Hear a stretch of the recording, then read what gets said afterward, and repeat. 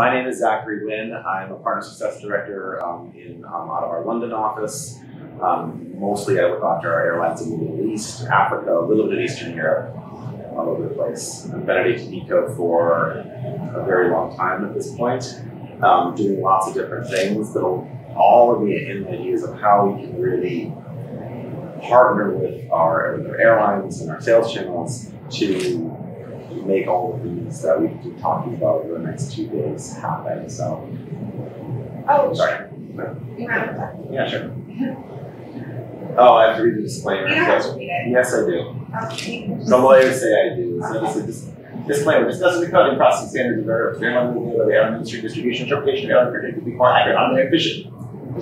Themselves from Americans, but this means industry-wide and does not engage in kind of a violation of measures laws and laws around the world. Accordingly, this will not take action regarding any fare, rule, or fee, nor will discuss or take action on the relation levels of any intermediaries in sale of verification. This meeting also has no authority to discuss or reach agreement on the allocation of markets and vision sharing of traffic revenues or the number of traffic to be offered in the market. Discussions regarding such matters concerning any competitive topics that are on the floor or off are strictly prohibited. Discussing and reaching an agreement to these topics could expose participants to liability under U.S. antitrust laws or other laws of other jurisdictions around the world. Further, this content of this meeting is not interpreted any request for participants for paying for communications concerning the content over social media or other public platforms.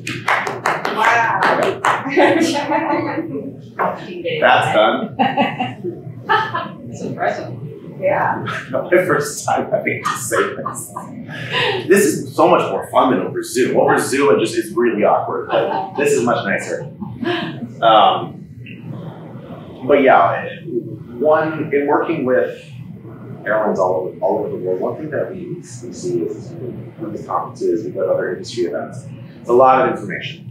It's a lot of vision. You know, what are we doing in the future? How are we getting dynamic offers to scale? Where, how do we get in, grow NDC from the 10 to 20 percent we have to 80 percent? It's a lot.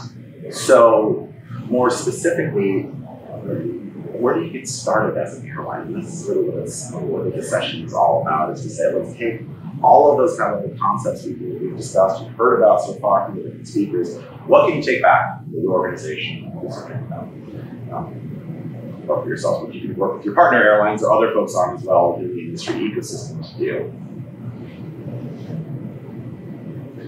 So when we structure our, our, our partnership agreement with airlines, which we've done quite an overhaul of in the past few years, it's really made it more about how do we enable these things to happen. So it used to be okay, you have an agreement with ATPCO that allows you to do some things. Primarily, it was GDS distribution. That was the thought and the use case. Um, that hasn't been the case in a number of years. We've really expanded to do a lot more and really to enable that we've talked about today.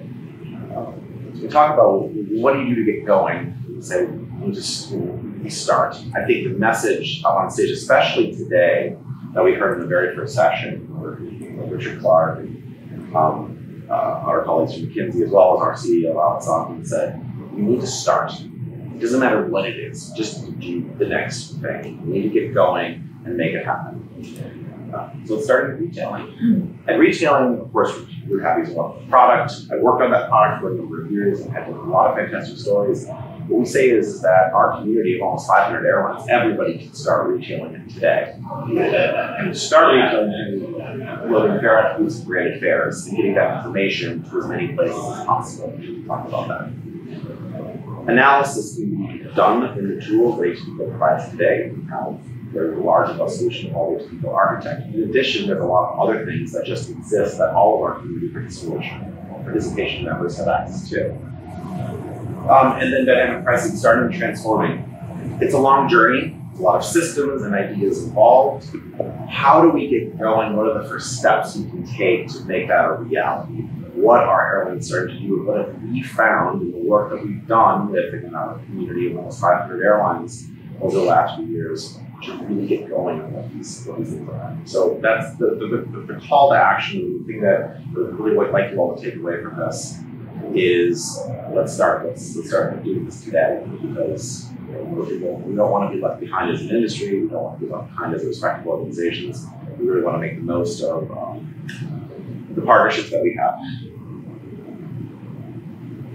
Their attributes are the foundation. Of course, we have visual displays powered by Routehappy, but underneath, and what is powering Routehappy as well as many other sales channels around the world, are, our fare attributes. Note I'm not saying branded fares. Now that is that is the name of the system within ATPCO where the data lives. But more importantly is how do we express that in a way that a customer can see it. So what we did acquired is to take that technology that will look across the different systems within ATPCO, but especially branded fares, and translate that data into something a passenger can understand in up to 28 languages, by the way. So we have a display in English here, but if I requested the display in German or in Arabic or in um, traditional Chinese, it would show up here as well automatically, reflecting exactly what is created within ATPCO. This example from Kayak, but I can pick many other channels, GDS, we have Meta, we have the OTAs using this now, um, really to start driving people to the different places where they can buy your products. Um, and this is so important because it seems like such a basic thing about retail, but particularly when you look outside of the markets that you heavily serve, or like where you're well known, in other places, well, you know, I know a lot of airline products because I work in this business and I've been able to travel around the world, but it's really hard to see that other places. How do you tell people? One part of our value proposition is seating. Southwest Airlines because as a key value proposition, as a key driver in that? Or is it the is it the luggage allowance? What is it that drives people to do this? Putting that information that information into ATPCO is what we do. That is the core of our business, and that's what agreement of community participation really unlocks.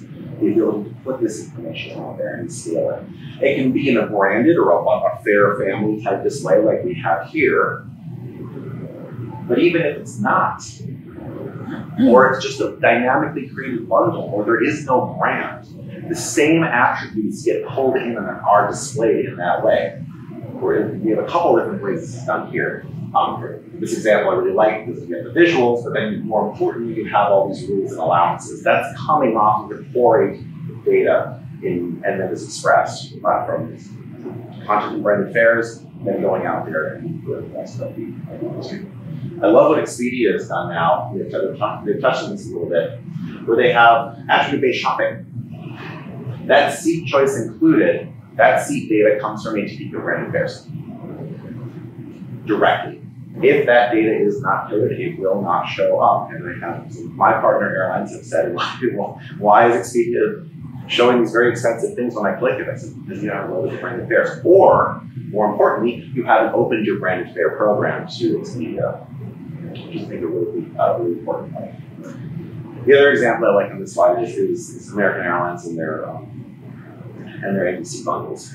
So new, interesting offers that are unique to a distribution channel can also be loaded in. For us, we were an industry neutral provider. Our job is to just get the best data out there and make it accurate to describe your product, yet also coming off of all things ATP brand pairs.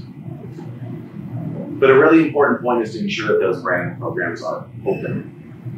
Um, what it, and I say this because when, when this was invented um, a number of years ago, it was really done on a system by system implementation. You would have one seller who wanted to get their attribute information from an airline, we would send it to that seller, you would send it to that seller, we would do all, we would track all of that with the data structures. Now, passengers come from everywhere it's important to have an ability to showcase your product at a high level so people know where to go and see it. And that's, that, that to me is really, really important. Um, so, and we've done that work. So, for example, with um, you know, a couple different airlines this year, we've been able to unlock that, opening them up so that when someone is searching on Google, which is one out of every 10 searches even for air travel starts with Google, I think it's a statistic.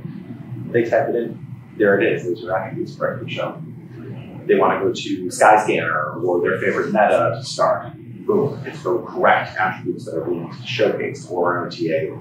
Or if a travel agent is searching for something in their desktop, will see the same thing. All of this stuff is important. It's important to have it open so that everyone can access this. Okay. Questions so far?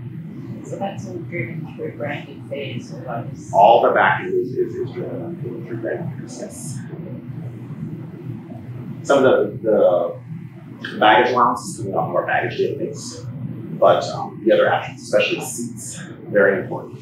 And again, the indicator on seats is just whether or not there's there's purchasing or it's free or not included. Then you drive down, and of course, there's the ancillaries that go along with it, which is too much to display at an initial time of flight shopping, but of course, there is that robust set of data in the background.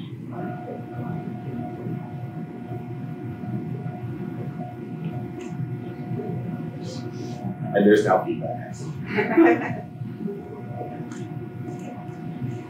a piece of the automation of pricing decisions, which is that we give every airline that works with ATPCO a baseline of, of, of a tool to look at what's going on in the marketplace. This is, done through market view. Um, if you, you've heard a bit about ATPCO Architect, a very large system, a very robust system, this is, this is actually part of that whole journey in terms of fare management. How do you take information that is out there in the marketplace so you can make better decisions? How do you query what's going on with your competition?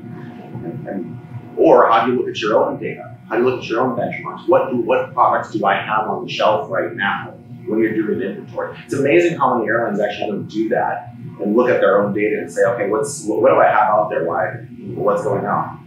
Um, and many years working with airlines on site, they would tell me, yeah, we spend a lot of time chasing our own problems or for, oh, we forgot we had that fare out there in the market selling. This is a great way to audit and do this. And we include all pieces of the fare that are necessary. So not just the base fare, but the surcharge, the carrier imposed YQ fee, um, and all the taxes as well. So we can really create that whole picture of yourselves and any other public data from any of your competitors available in the single click and again included um, for a certain number of queries per month um, as part of the participation. Is it, just ask a question, is Sure. it refreshed, is it like a refresh every day or like how does it- Every time we send changes to the market, Yeah. we send it from one of our servers to another. So it's always, it should always reflect, it actually reflects faster than GDS's. Oh, we're, we're, we film, never mind. Reflects faster than GDS's, um, which is really, uh, well, of course, they're dealing with much larger daily volumes. So again, we're sending it from one server to ourselves. So yeah, it's, it's, it's always the most accurate picture of the market. Um, and actually, several airlines are using it as that as a check in their process to say, okay, I think I've done everything right. I have the offer where I need it to be. Let me just run it again and see, oh, okay, yeah, that looks good, and move on to the next thing. So. And of course, dynamic pricing, massive, massive topic. So much that can be done. Many great providers in the space. You've heard from some of them over the last couple of days. We've seen what they can do. Um, the first question that I get from my partners often is, okay, I want to start but how? It seems really hard, and I don't fully understand what it does or where it goes. And say, okay, you know, we, we, thought about that, and we um, we shared a chart at the beginning of this morning's session as we're starting to move more and more airlines into this world. This is a way to do it. Please.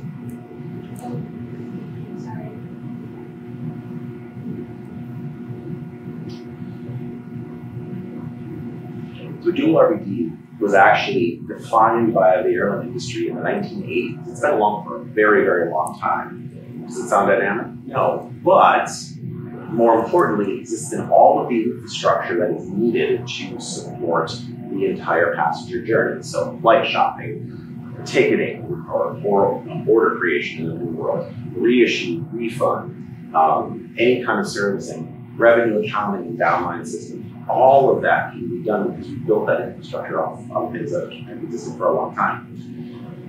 And the nice thing is, it's no different than loading other fare and Google data within ATPCO. It's the same infrastructure that's being used. So it's not a new system, it's things that you already have access to. Um, and there's a number of really great use cases that we've, that we've seen. So, uh, for example, cabin upsell. Instant upgrades is how this has been often noted. You can actually book into a higher cabin, but it could also be a higher brand. Let's say if it's single cabin aircraft or different things. You can actually utilize this information to do that.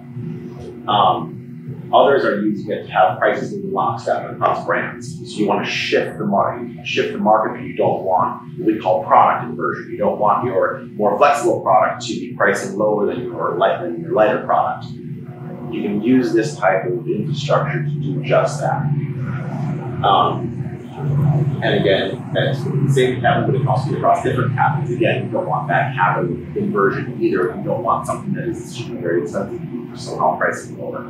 Um, there's a lot of cleanup processes and things that I know airlines have to struggle with to keep all that in order. You make it very, very simple with this type of, of logic.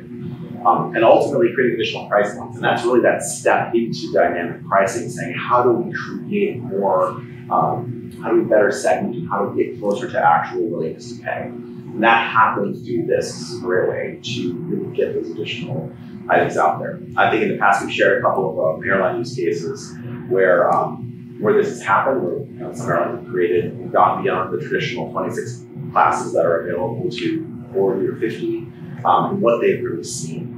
Um, there's certain types of markets where this works better than others. We're all still learning in this journey. But again, this is a something that you can try immediately without having to invest in a system or go to procurement and try to decide and define what that future is going to It's really something that can begin from day one, and that's and, and, and that's really powerful. Um, especially because this, this is going to be a long journey for all of us. The learnings that we take from starting small, doing some tests, doing a couple of pilots, especially with existing infrastructure, really set the stage for the future. Um, not when I put this together, I wasn't sure how many people we'd have in the room, but since we have a large crowd with, with lots of sales channels, um, we'll, we'll, talk a little bit about what this means for um, our counterparts um, who, are, who are sellers. Um, it's often to remind the folks that we're really here to support all the entire use of process sales channels. We support and we, we value our relationship with our, with our friends in the GDSs, but we know it's a big world out there. How do we get great shopping content across different um, uh, programs?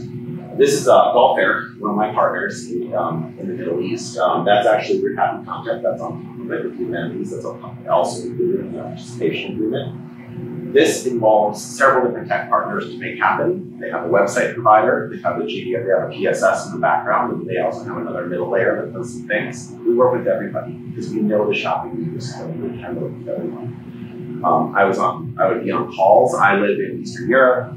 Um, I would be on calls with their tech provider in Central Europe, with uh, of course the airline based in Bahrain in the Middle East, um, as well as folks in um, in their PSS provider in the United States we would be doing these global calls to make all this happen. And it did. It's, it's, it's actually really, uh, it's, a, it's a very healthy image. And they've had very good success by doing this. So um, that's an airline website that again, we work to do, but we do this again for all of our sales partners. Um, need to emphasize as often as we can that that value is not just the traditional price availability, which is where it all starts, but it really goes on to all things that they're trying to do when enabling them to be creative and and um, finding ways to, to, to sell your product better. That's where really starts is, is, is, is with these, these very basic things. And of course, all the traditional infrastructure is still there, still loading the price, the pricing data that's for everything from regular sales, sale fares, corporates, all those things.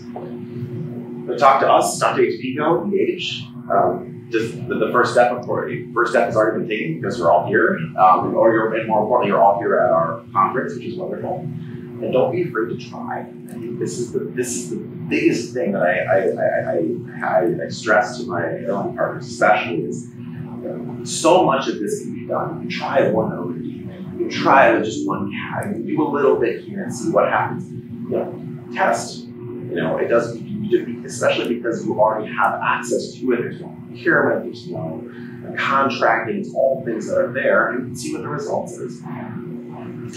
Um, Would say ask questions. And that's to everybody, um, especially at the you don't always ask us what's going on, what can we do. We're always willing to help.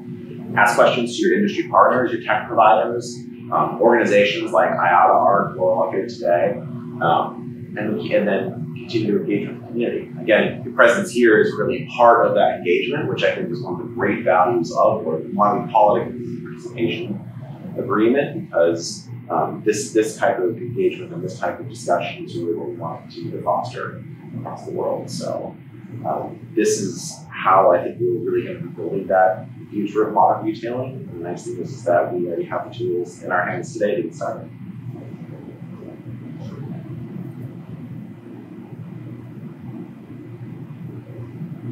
So, so join us. Let's do this. Any?